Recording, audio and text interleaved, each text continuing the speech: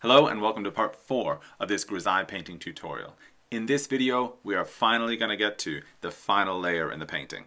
Just to recap, we've come all the way from our full value graphite drawing that was meant to detail and familiarize us with the construction, proportion, and gestural themes that we were going to be working with in this picture. We've gone through a block-in phase starting on a white canvas where we have established the basic dichotomy of shadow and light. We've gone through a second layer where we refined some of those initial ideas we had from the block-in while expanding our value range and also pushing a little bit the sense of texture and opacity in the oil paint. And all the time we had it in mind that the choices we were taking were building up to prepare us to make really excellent and refined decisions in the final moment, and that final moment is actually here.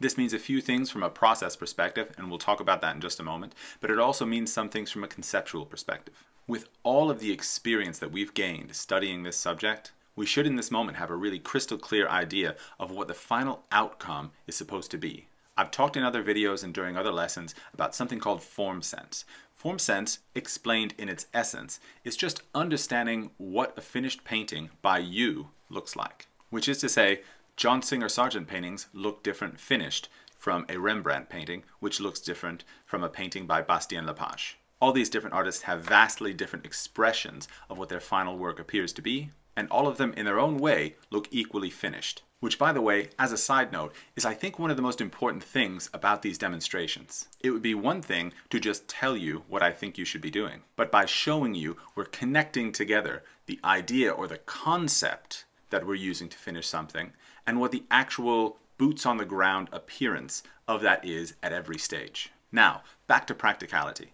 What we're going to be faced with in this moment is a painting with a fully fleshed out value scale that looks relatively resolved in a lot of different ways, and also because we've given it the appropriate amount of time to dry thoroughly, it's going to be a little bit sunken in. So first, we refresh the surface of the painting by oiling out. If you don't remember how to do this, I've addressed it in the previous video. Basically, we're talking about rubbing a little bit of linseed oil over the surface, wiping away whatever excess after about five minutes, and then beginning to paint just like you would any other day.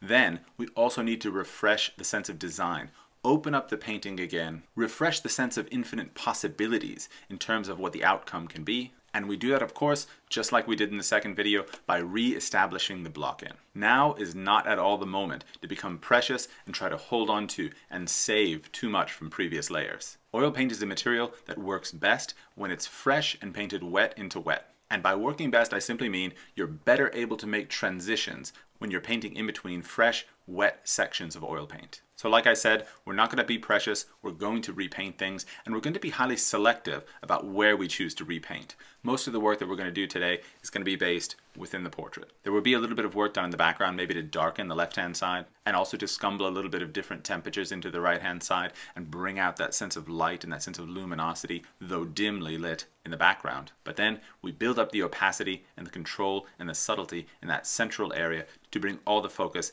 into the face. But without further ado, let's get into the painting, let's get into the demonstration, and I want to talk about some of the areas that I'm looking at that I think I want to work on. So starting out, you can see we have the same palette that we're working with, Ivory Black, Raw Umber, and Flake White. I should mention here also that when you're loading up your palette, really try to make sure that you have enough oil paint on it. For what we're trying to do, which is to say painting relatively directly on top of this already dried layer, we're going to need to make sure we have enough paint to do the job. The last thing you want to be doing is actually running out of the colors that are on your palette. And by the way, it's a classic beginner's mistake to load too little paint onto your palette. If you're trying to make a nice fresh and direct oil painting, the last thing that you can be worried about is wasting a little bit of paint by squeezing too much out onto your palette. Also, as I said before, in these areas you can see really clearly how the oil paint has sunk into those lower layers. All the dark values in the painting right now are one to two value steps above where they actually should be. Of course, this isn't cause for alarm, but eventually we do need to acknowledge that seeing the values as they are is going to be really important if we're going to adjust some of the unity and transitions within the light shape. So why don't we dive into that right now, and then I'll return and start to talk about some of the technical things we need to achieve.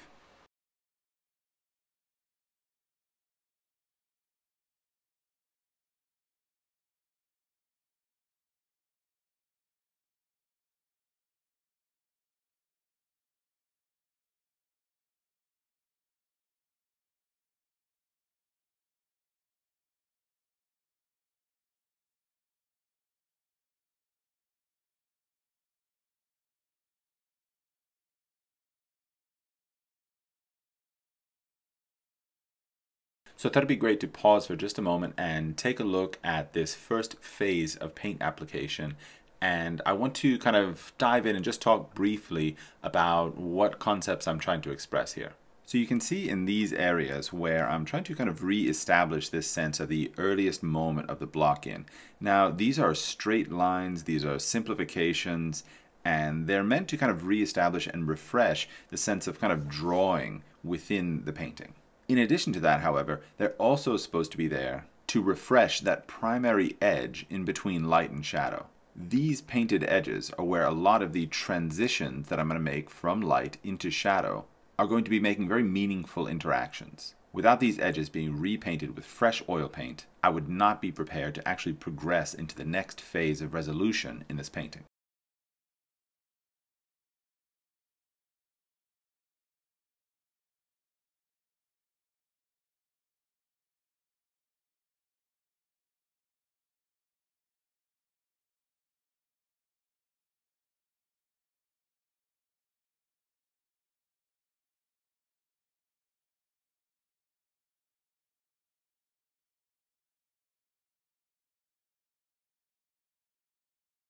Coming now to the end of this second video, I want to talk about some of the things that we introduced during the time that we've been working and also to talk about some of the things that are going to be coming up in the next video. The synopsis of what has happened in these last four hours is that we've essentially repeated the process that we went through in the second pass of oil paint on this portrait. We focused in a little bit more just on painting and refining the features rather than worrying about filling up the entire canvas again. Part of this is practical from the standpoint that when you are making refinements in oil paint, it really takes quite a long time. It's very labor intensive to create exactly the right kind of transitions and softness and construction in every area of the face. But also we were able to focus our efforts in on just the portrait because we had managed in the second pass of oil paint on this painting to make a rather effective background and also a pretty effective handling of the other features like the hair and the shirt. A lot of the work that we've done in this video as well has been based around the subject of dark halftones, specifically how dark halftone planes and the values that we assign to them play a major role in creating